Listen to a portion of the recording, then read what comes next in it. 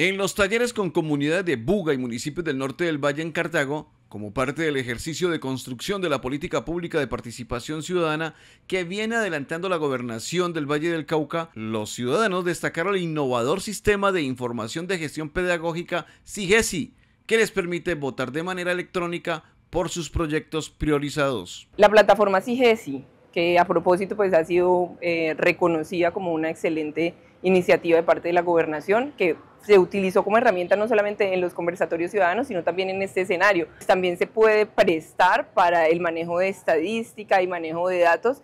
De igual forma, la comunidad destacó el proceso de los conversatorios ciudadanos. En los conversatorios ciudadanos, lo bueno es que no llegan a que los escuchemos, llegan directamente a escuchar cuáles necesidades tiene el municipio. Nosotros como campesinos estamos agradecidos con estos talleres porque ahí el ciudadano común y corriente se da cuenta de qué realmente está haciendo la gobernación en beneficio de toda una ciudadanía. Con esto vamos a robustecer lo que será la formulación de la política, pero lo más importante, la implementación de la misma. De esta forma, el gobierno del Valle avanza con la participación ciudadana.